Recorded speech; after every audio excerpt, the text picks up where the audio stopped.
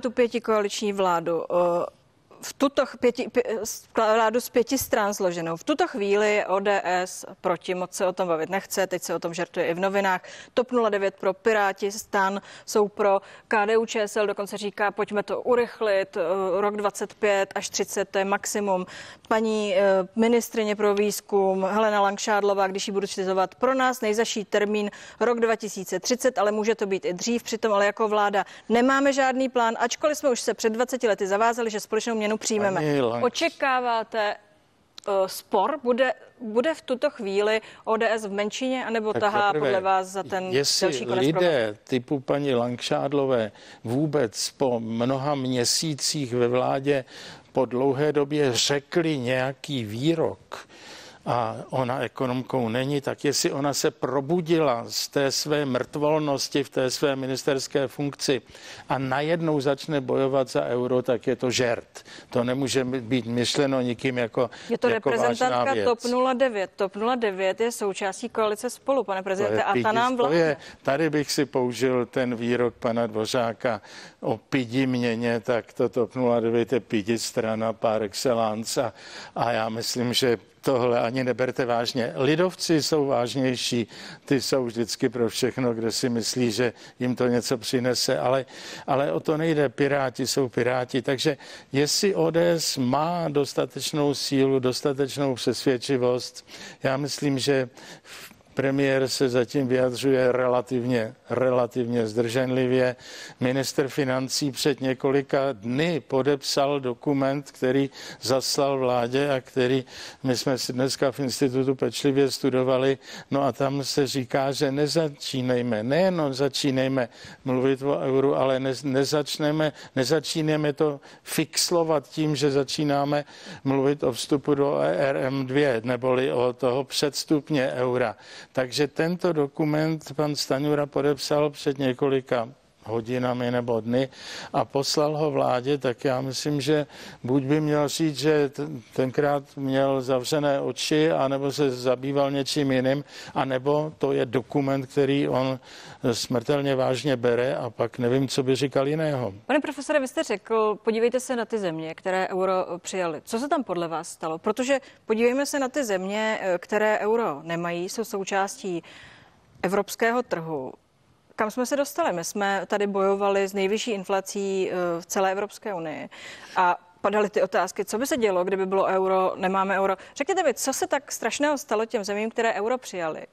A v čem je ta naše výhoda, když děláme tu měnovou politiku tak, jak ji děláme? No tak já myslím, že za prvé je naprosto jasné, že v ekonomii od věky věků je spor a musím říct tuto větu mezi zastánci fixních a flexibilních měnových kurzů. Já myslím, že i like tomu rozumí, o čem, o čem prostě mluvíme. Já a mnoho z ekonomů je, myslím, že i většina je zastánce modelu flexibilních, pružných kurzů, nezafixovaných a tak dále. Příkladů kolik zafixování kurzu vůči něčemu prostě vyvolalo krachů a definitivních krizových situací zemí je v historii lidské společnosti moc. Takže výhoda mít flexibilitu v tom měnovém kurzu je úplně alfa, omega veškeré ekonomické teorie, které jsem se celý život věnoval. Dobrá, a tak proč nám to tedy tak eh, dlouho nevycházelo? Proč jsme se brodili tou strašlivou inflací a uh, ukazovali na nás prstem? No tak protože, protože jsme zaprvé měli pana guvernéra Singra. Takže jsme to dělali podle vás špatně. Guvernéra Singra, který si v roce 2013 spolu s řadou jeho kolegů v centrální bance vymyslel, že musí uměle, uměle oslabit kurz a držel ho fixovaný eh, čtyři roky od 2013 do 17 a při té, za ty čtyři roky se do ekonomiky valilo obrovské množství peněz, která, které s určitým časovým odstupem vyvolalo naší inflaci. To byl ten obří měnový impuls, z bankovní měnový. Tedy druhý, druhý, druhý impuls k inflaci udělali naše vlády. Vláda covidová a vláda fialová. Prostě se svými deficity státního rozpočtu eh, v rozsahu 300 miliard, miliard korun a navíc si teď nechali schválit deficit eh, téměř ve stejné výši i na rok 2004. My máme pět let po sobě deficit státního rozpočtu, neboli valí se další peníze do ekonomiky na úrovni 300 miliard korun ročně. Takže jestli prvním motivem, impulsem k té inflaci byla, byl zásah centrální banky, tak druhým jsou zásahy těch vlád. To se neodstraní žádným eurem. To, když budeme prostě, když budeme, když budeme dělat věci takhle tragické, tak dopadneme jako Řecko, i když bylo členem eurozóny. Tak ještě mi vysvětlete.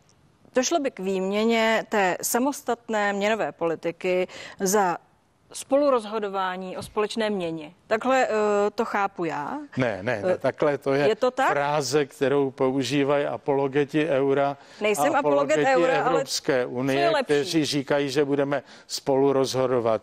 Já zodpovědně říkám, že spolu rozhodovat mezi 20 zeměmi hm, s naší vahou ekonomickou a počtem obyvatel nic spolu rozhodovat nebudeme. Prostě ten, ty evropské procesy to probíhají úplně, úplně jiné ze hry? Máte za to, že vypadneme ze hry? Vždyť jsme 27 zemí, které se na něčem pokoušejí usnést. Tak to funguje. Ne, ne, to je jenom idylický teorie. model, Aha. idylický model teorie, teorie existence Evropské Takže říkáte, unie. že my se vzdáme té měnové politiky ano. a vyměníme to za to, že budeme vláčeni situací. Tak to tak, čtu. Tak, ano, ano. To si myslíte?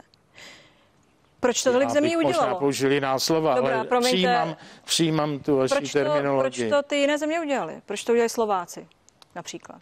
Tak pro některé země, které měly opravdu obavu o slabost své ekonomiky, o tom, že ta země je malá, o to, že ta země je na pomezí té Evropské unie, tak Dílí, prostě měli pocit, Ty obavy že máme taky, tyhle stejné obavy přeci máme. To má někdo, jako, ale my potřebujeme něco jiného než euro, paní Pavlíno. My potřebujeme radikální ekonomickou transformaci.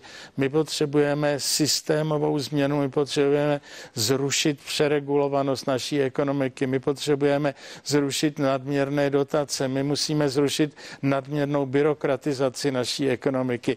A teď mohu jmenovat dalších x charakteristik eh, těchto věcí. My musíme přestat být nejzelenější eh, zemí vůbec kolem nás. Prostě pak můžeme normálně ekonomicky fungovat. A Tady bych s vámi opravdu si dovolil nesouhlasit. jsme nejzelenější země no kolem to, nás, přesto, že mám dneska zelené no, šaty. To jste si vzala schválně to na mě, já to tak beru, že ty Ne, to jsem si vzala, šaty, protože, protože by zelená sluší, pane To je rafinovaný ale, trik na mě, teda to opravdu. Nejen malé země uh, přijali euro. No právě. Právě ty velké země Říkal jste, pocit... proč to přijali ty malé země, tak já se ptám, nej, nejen malé země přijali euro? Mají ho i velké. To se ptejte, to se ptejte jednotlivých zemí. To já nebudu odpovídat, odpovídat za ně. Ale jedna, já bych velmi odlišil země původní Evropské unie od těch nových post ex-komunistických zemí. Tam pořád prostě je jistá nejistota a jistá přece jenom nezralost ekonomická a někteří víme, že tu nezralost eurem nevyřešíme a někteří si myslí, že tu nezralost zástupným způsobem vyřešíme připojení se k eurům. Vláda, Fialová vláda, Staňurova vláda dnes opakuje, díky konzolidačnímu balíčku budeme plnit maastrichtská kritéria. To jsou kritéria pro ty, kteří nevědí, která potřebujeme plnit, abychom mohli přijmout euro. Proč to podle vás říkají, když tedy podle vás není správná cesta v dohledné době k euru směřovat? Co to je tedy za floskuli, kterou posloucháme? K čemu je to dobré? Podívejte, maastrichtská kritéria e, jsou kritéria xkrát jsem o tom psal, jsou kritéria, která se zamýšlí ta Evropská unie jestli tuhle tu zemi má eventuálně vzít do eurozóny. Moment, tím, co říkám, že ta kritéria jdou z toho Maastrichtu napsaná, z Maastrichtu dolů. Druhá věc je, a od nepaměti o tom říkám, my si musíme formulovat, a nevím, jestli mám říct českobrodská, nebo českokrumlovská, nebo českolipská kritéria, které, které nám řík, řeknou, kdy je pro nás vhodné vstoupit do té eurozóny. Rozumíme tomu odlišného pohledu. Ta maastrichtská kritéria jsou jejich. No ale neodpověděl jste mi, proč o těch jejich odpo... kritériích mluví tato vláda, která no, to vlastně udělat nemůže. Tato vláda neví, ani... že by si měla naformulovat ta českokrumlovská, českobrodská, českolipská nebo já ne jaká jiná kritéria a podle toho si určit, jestli do té eurozóny má vstoupit nebo ne. Oni berou ty jejich kritéria, protože je to vláda bruselská, když vynechám, že je ukrajinská, jo, ale je to hodně vláda bruselská, takže ona samozřejmě může se koukat na ty masterská kritéria. Normální člověk by měl se dívat na ta českobrodská. Ukrajinská bruselská vláda eh, tady by s vámi určitě eh, její voliči nesouhlasili. Voliči? Její voliči nesouhlasí. Její voliči. Tak. Co má být naše perspektiva, pokud to není euro? Vysvětlete mi, to jsme společný evropský trh. Vysvětlete mi, kam směřovat, co by měl pro nás být ne, ta, ta vize, ten cíl. Ne, to bychom měli přeměnit rozhovor v, v ekonomickou výuku. Co to je společný evropský trh? Společný evropský trh říká, že byla od, byly odstraněny barikády, barikády, hranice na výměnu zboží a služeb. To znamená, že, že vznikla jedna celní unie a tak dále a tak dále.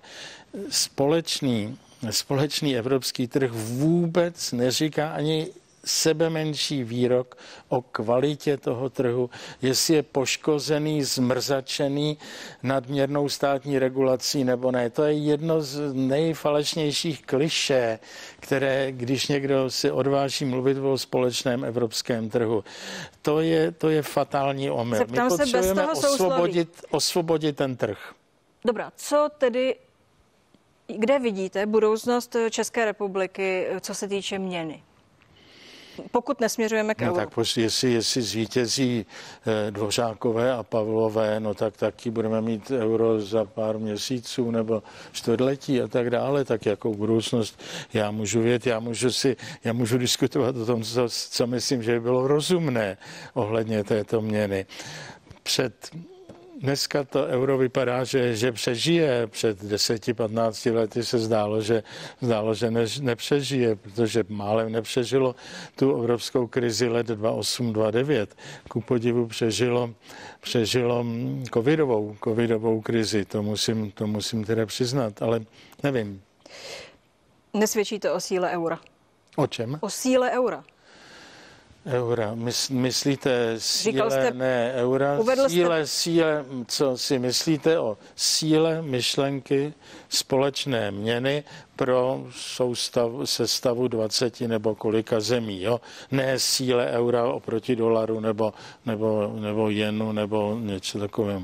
Obavíme, že je to obrovské politikum. Hmm. Přijetí, nepřijetí eura. Má se o euru rozhodnout ve volbách, že přijde někdo a bude říkat, my chceme euro a lidé ho zvolí a uh, bude nám vládnout, anebo v referendu? Tak zaprvé já si myslím, že to nemůže rozhodnout tato chatrná, nesourodá, heterogenní, v mnoha svých názorech protikladná pěti koalice. To nemůže udělat za zády lidí to občanů z naší země. Ona se těch občanů musí ptát. A to ptání má celou řadu, má celou řadu rovin. Jedna věc je opravdu vážné rozvinutí celospolečenské diskuze na toto téma. Druhá otázka je eh, diskuze v politické, na politické scéně, v politické oblasti, v parlamentu, v obou komorách. Třetí věc je samozřejmě eh, téma, aby se to stalo tématem voleb evropských za, za čtyři měsíce nebo kolik a, a parlamentních za rok a kousek prostě. No a vy jste zmínila slovo referendum. Já si myslím, že je to tak fatální zásah do české státnosti, že to asi bez toho referenda by být nemělo. Říkáte, že je to vysoce odborná diskuse. To ostatně vidíme, to víme, že jde o skutečně složitou materii. Je, není to vlastně jistým způsobem takové zjednodušení si politické práce, když to zkrátka dobře tuhle složitou věc hodíte na lidi?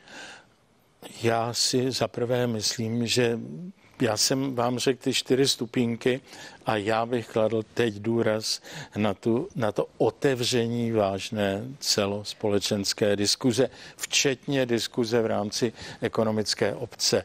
Ekonomická obec na to kašle. Ekonomická obec, jako ekonomu si myslím, že to nemá jako veliké téma, kde by vznikal jeden článek za druhým, který by argumentoval v tom či onom směru. Tedy mluvíte o něčem, že takovému referendu, řekněme mu zodpovědné referendum, jestli takové může existovat, musí předcházet dlouhodobá Já diskuse. Myslím, Zároveň opakuji, mají, má každý z nás šanci pochopit, do čeho všeho se pouštíme v případě eura. Není to to, co chceme po vás, po politicích, abyste přišli s tím řešením a postavili se za ně a nechtít to po nás, abychom hlasovali o takhle složité věci. Já s vámi souhlasím, že to chce jasné, přesvědčivé politiky, politiky s názorem silným, politiky, kteří půjdou s tou myšlenkou do boje a obhájí ji před veřejností. To je naprosto jasná, jasná věc. A ta obhajba před veřejností, říkám, má těch několik, několik stupňů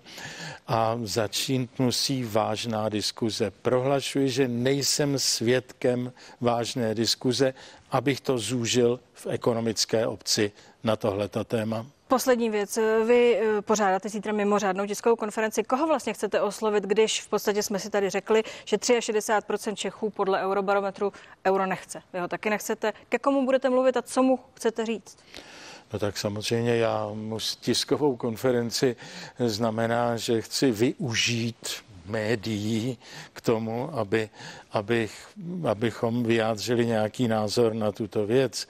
Takže mluvíme ke, potenciálně ke všem, kdo, kdo bude ochoten tohleto poslouchat a k tomu se věnovat. Taky doufáme, že i vaše slavná televize se zúčastní té tiskové konference a budeme rádi, když tam přijdou, přijdou další. Ano, myslím, že to je velké téma, ale hlavní nesmí být provedena palácovým pučem za zády občanů, kdy o tom rozhodne dvořák s Lančádlovou ve vládě, kdybych to trošku zjednodušil a konkretizoval na jménech.